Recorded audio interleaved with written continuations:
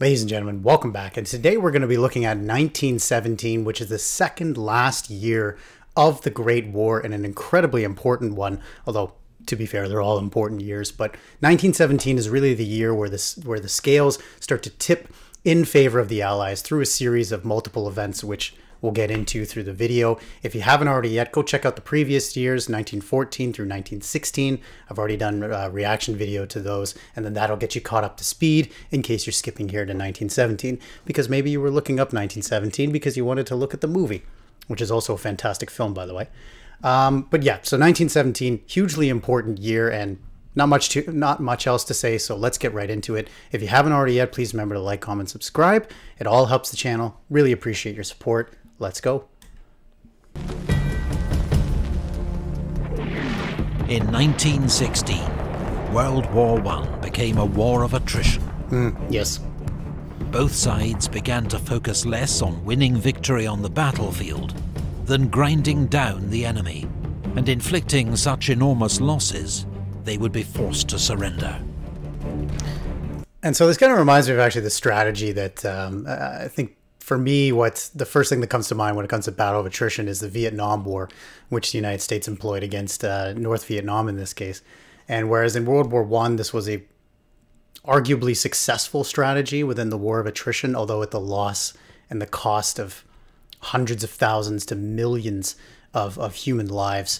Um, the strategy of attrition against Vietnam did not work at all. So I won't get into it because that's a video in and of itself. But the theory that we would just basically, we, sorry, the United States would basically just grind them down until they had no more troops left was ultimately not successful. Though in the Great War here, under these different circumstances, it was relatively successful. In 1917, the strategy will push Europe's major powers to the brink yep. of collapse. France and Germany specifically.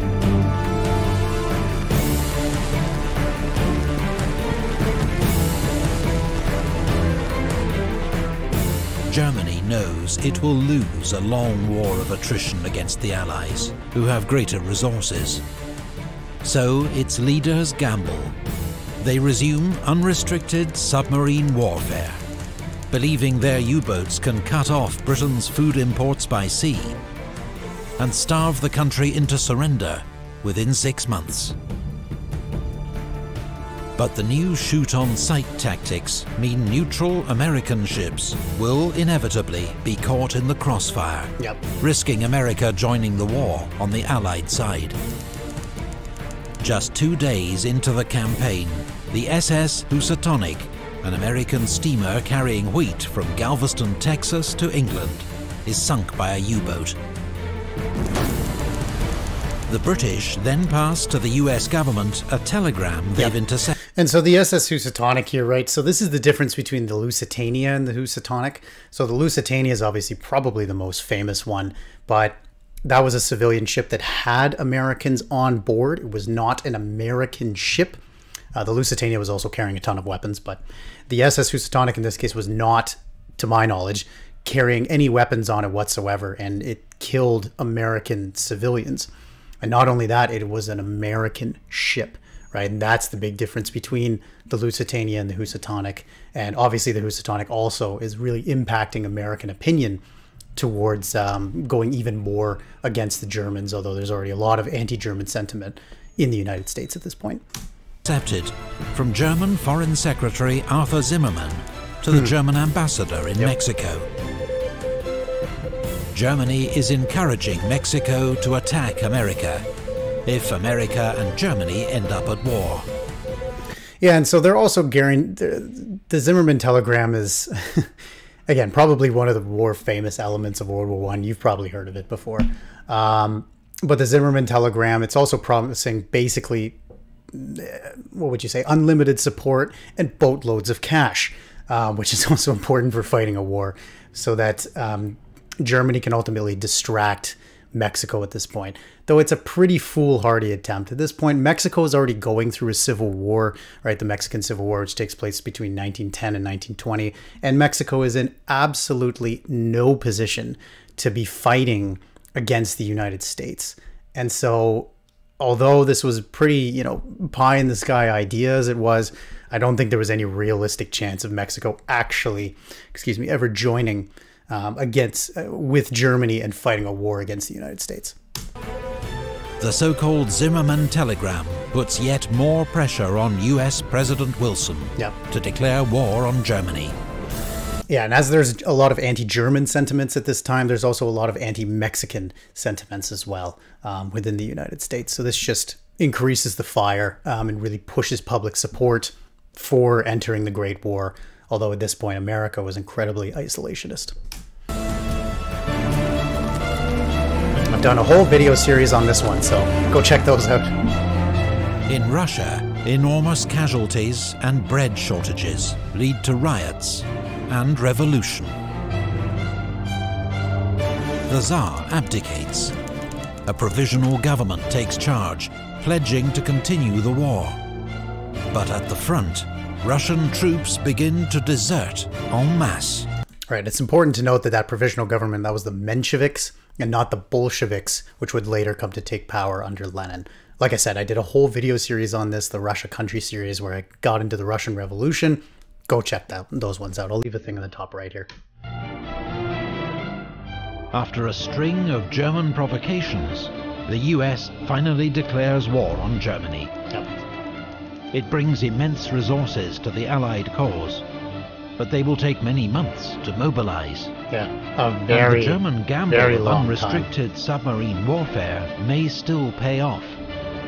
April is the U-boat's most successful month of the war. They sink 886,000 tons of Allied shipping, an average of 17 ships a day, Crazy. all packed with urgently needed food and supplies. Wow. Britain will face starvation tons. If the U-boats are not defeated soon. On the Western Front, the British launched the Battle of Arras, a diversion to support a major upcoming French offensive. After heavy fighting, Canadian troops seized hmm. the high ground of Vimy Ridge. Now's my time to talk about Vimy Ridge. I've been waiting for this. Um, so I think Vimy Ridge is going to be a video in and of itself one of these days when I get more into Canadian history. But to make a very long story short, uh, this is tasked by Sir Julian Byng, who would go on to become one of the uh, Governor Generals of Canada. And it was a massive operation that um, had many months of training going into it. They were originally training back in Canada, where they made, excuse me, models of what the German trench lines were. And it was innovative in the fact that there was the creeping barrage, which was done, which what a creeping barrage is when you fire artillery to provide cover. So you would have your men in the rear, you would fire artillery shells here, and then they would creep up, and then you would be firing artillery shells like that, obviously not at your men. So the idea is is that the Germans or whomever your enemy is staying in the trenches while your men are advancing on no man's land. As well as that, they're actually tunneling and creating massive tunnel networks um, underneath the positions here and placing mines there to blow up and uh, basically compromise the, the position of the Germans. Um, they're also doing trench raids at this point, and there's an air warfare as well. There's air operations and reconnaissance, and so this is a massive undertaking. And for Canada, why it's so important is because this was the first time that all four um, Canadian expeditionary forces fought together in a single battle. And so, although Vimy Ridge, in in terms of a tactical perspective from the war, it wasn't really that important. This was not something that broke the Western Front. They mostly just captured the ridge and then were not able to move much further than that. Um, and the Germans, I mean, I think German historians sort of write it off as a side note as, yeah, okay, it might have been a loss, maybe even a draw. Um, but in, for Canadian history, it's one of the most important events because it's seen as a unifying um, it's seen as a unifying act for our country. And the Vimy Ridge Memorial, which I visited about 10 years ago, actually exactly 10 years ago, um, is, is, is, is something that's still held very dearly in the hearts of Canadians. And, and pretty much every Canadian is taught about it in their history class. And with Canada eventually moving forward through the 1920s and being able to decide its own foreign policy, um, World War One and Vimy Ridge overall is one of those really important events that sort of brings us to not to independence in the same way that the United States, you know, uh, fought a revolutionary war for independence, but you know, uh, what would you say? Separation from Britain and autonomy, autonomy over its own, um, over its own affairs. So there you go. I was, I was waiting like three videos for that one. it's a limited Allied victory yeah, exactly. that costs 150,000 Allied casualties to 130,000 German. Yep. Above the trenches, the First Air War has reached new levels of sophistication and mm. deadliness. The Red Baron. Reconnaissance aircraft are crucial for spotting enemy positions and directing artillery fire onto them. Scout aircraft or fighters try to shoot them down before they can execute their mission. New models of... Isn't it cool just to see that we have footage of World War One? We have actual video footage of it. Uh, I know during the Franco-Prussian War there was a photograph taken of combat there, but video footage from over 100 years ago. I don't know. I, always find that cool. Of aircraft are developed every few months. But that spring, the superiority of German aircraft leads to heavy Allied losses yep. in what becomes known as Bloody April. Yeah, the British are being shot down around 4 to 1 uh, during Bloody April. Three days after the fall of Vimy Ridge, French General Robert Nivelle launches his main offensive. Hmm. Disaster. Expectations are high. But after initial success, the advance bogs down, and casualties quickly mount on both sides.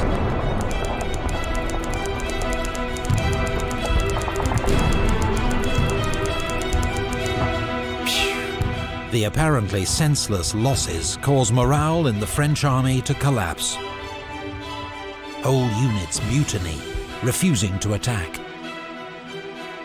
General Nivelle is sacked as French commander-in-chief and replaced by General Pétain, hero of Verdun, who promises no more suicidal attacks. Yeah. And so a lot of the reason for this too is because the theory goes at this point um, is that if we just dig in, we being the French, if we just dig in and wait the Americans will show up, right? It's important to note that Americans don't start showing up until 1918, although it is important to note that there are Americans fighting um, for the Allies at this point, volunteers and whatnot. I think there was, I think there was actually a whole maybe company or, or regiment that was in the UK um, that was in the Air Force. But anyways, um, yeah. So the the idea here is to dig in defensively and wait, and that is exactly what Germany um, what is not going to benefit Germany because Germany is fighting against time. Once Russia's knocked out, uh, they realize that they're not going to be able to survive the blockades that are having a massive effect on them, and they're eventually going to collapse. And so the French idea here of digging in and waiting is really a winning strategy for the Allies. That summer, at Messines Ridge, the British tunnel under the German lines yeah. and detonate 19 enormous mines the under the enemy explosion position. in human history. It's the largest man-made explosion in history to date and paves the way to a brilliant but highly local British victory. I mean, look at that crater, man. Jeez. In Greece, King Constantine, who has favoured neutrality, is forced to abdicate, yep. and Greece joins the Allies. And King Constantine, it's important to note that, uh, like a lot of the royals at this time, he, I think his, his it's either his stepsister or something along these lines. There is a familial tie to the German royal family, and so he's really been, although his country is how would I put it, in a rather unstable position when it comes to which side to join the war. Um, he's eventually abdicates, uh, the civilian government takes over, and they join the Allies. Russia's provisional government orders a new attack, but the July offensive is a disaster. The morale and discipline of the Russian army has collapsed. It can no longer be relied on to fight and the Central Powers counterattack is almost unopposed. At sea, the Allies begin to group their merchant ships into convoys, which oh. sail oh. under naval escort. Cool. The new system leads to a steady fall in losses. The tide is turning in the U-boat war. As discontent with the war grows in Germany, the German parliament, the Reichstag, passes a peace resolution, calling for a peace of understanding and reconciliation. Yep. It's ignored by the German High Command, which now effectively rules the country as a military dictatorship. Yeah, and so the stab in the back theory, um, which would the which would be very very prevalent for World War II as well as post World War One, it was sort of this conspiracy theory that um, left wing entities, you know, sort of the, the, the November criminals that they would become to call in 1918, um, really betrays Germany and stabs them in the back. You know, stabs the troops in the back, and this, I suppose you could call it a conspiracy theory, really this is sort of the beginnings of this, right? So the peace resolution is adopted by the German parliament here. It is uh, supported by all the left wing parties. So at this point, the SPD, um, Das Zentrum, and the, the, I believe it's the Catholic Party, and it's uh, opposed by the conservatives, right? So the, the right wing parties are opposing this. The left wing parties are trying to push this forward. They're trying to end the war.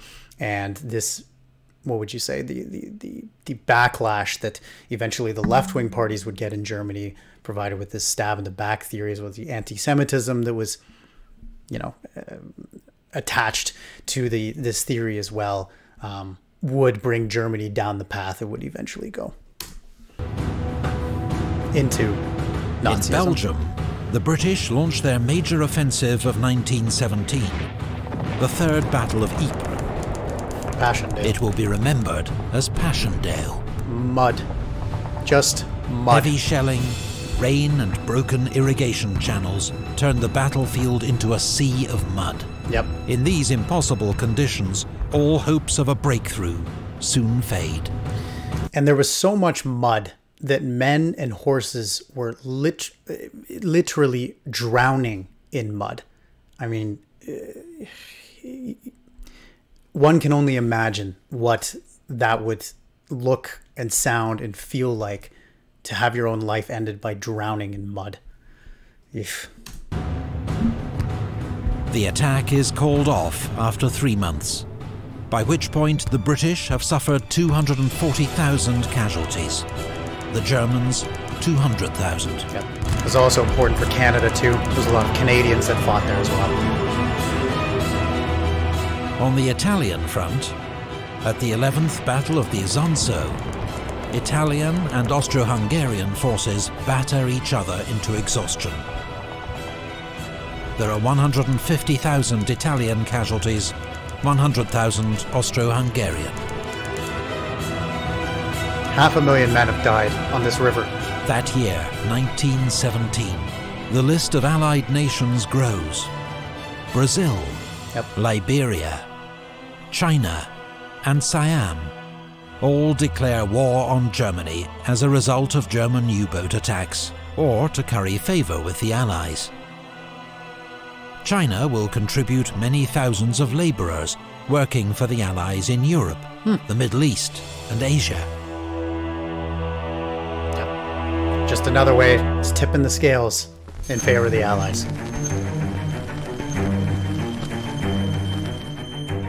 That year in the Middle East, British forces avenged their 1916 humiliation at Kut by defeating the Ottoman Turks and marching on to occupy Baghdad. British forces in Egypt advance across the Sinai Desert, but are thrown back by Ottoman forces at the First and Second Battles of Gaza. In July, Arab rebels capture the strategic Ottoman port of Aqaba. They are accompanied by a British military advisor, Captain T.E. Lawrence. Yeah, yes, Lawrence of better Arabia. known as Lawrence of Arabia. That autumn, British Foreign Secretary Arthur Balfour issues the Balfour Declaration, expressing support for the creation of a national home for the Jews in Palestine. So a lot of times in history and a lot of times when I'm doing these videos, you know, the cool thing is that when you see this event, you go, oh, okay, I can see how there's some ties to what is happening modernly or how this was influenced and why the way some things are. The Balfour Declaration um, is this is an event in history that is still affecting us to this day, and it's just very clear. Every single person who lives in Israel, every single person who lives in Palestine is affected by this declaration, right? The most, arguably, the most intractable conflict in human history is because of this declaration, right? And although, again, there's a whole video in and of itself, I'm not going to go into super amounts of detail because I don't, I don't unfortunately know about it. But if there's anything out of this war that you could say, yes, this is the thing that is still clearly every day affecting us, arguably it could be the Balfour Declaration. The aim is to rally Jewish support for the Allies. I mean, I think like 50% of all UN resolutions have been about Israel and Palestine. So, you know, that just goes to show. But the declaration contradicts existing pledges to Yep. Arab leaders. Yep. As well as Sykes-Picot, that's also lied to them. In October, the British finally win at Gaza, clearing the way for an advance into Palestine. Six weeks later, General Allenby leads British troops into Jerusalem, ending 400 years of Ottoman rule. Huge. And this is where Falkenhayn, as I spoke about in the last episode, excuse me, he's requested not to shell um, the old city of Jerusalem, saving these artifacts in this point of human history.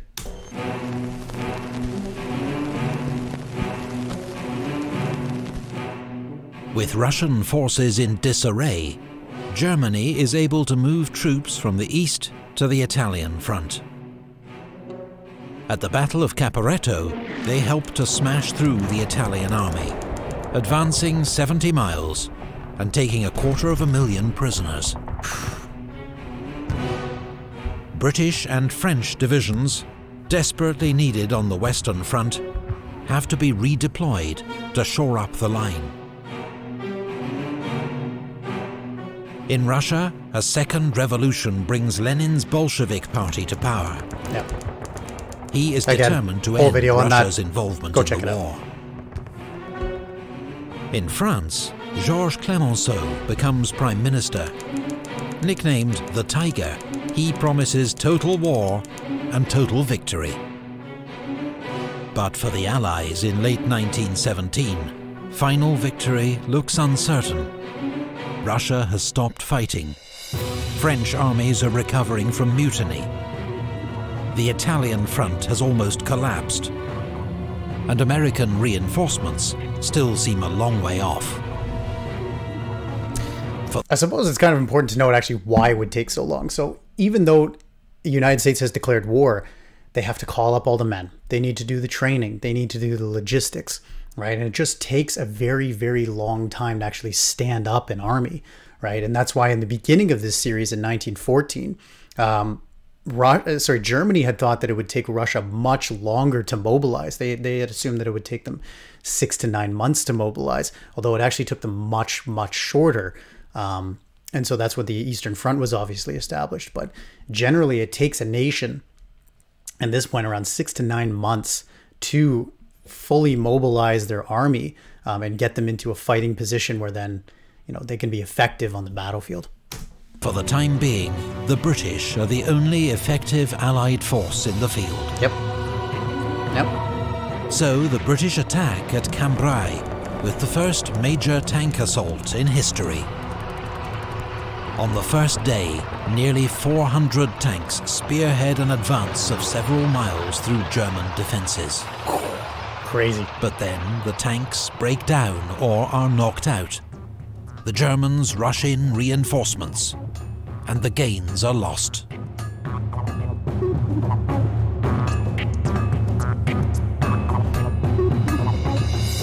Finland declares independence from Russia. Yes.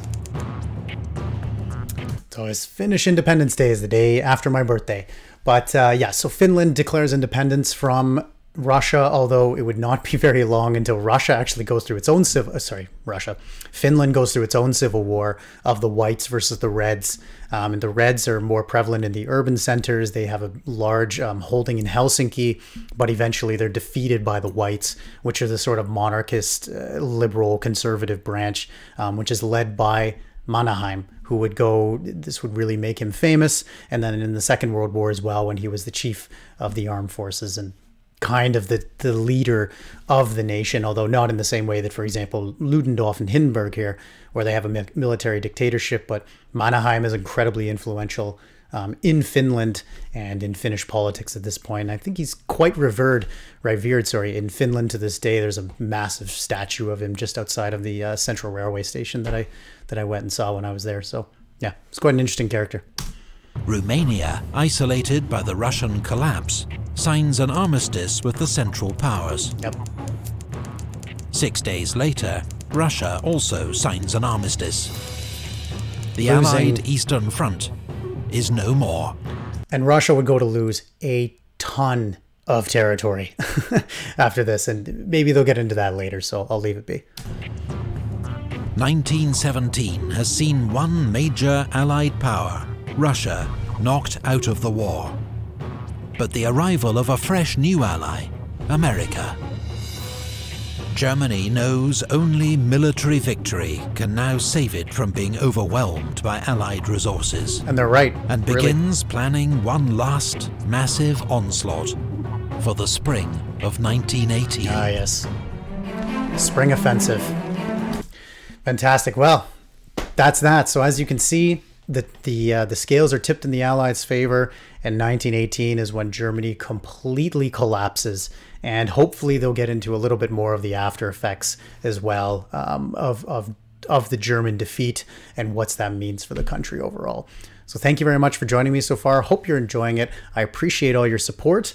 Take care, all the best, and I will see you guys in the next video. Ciao, ciao.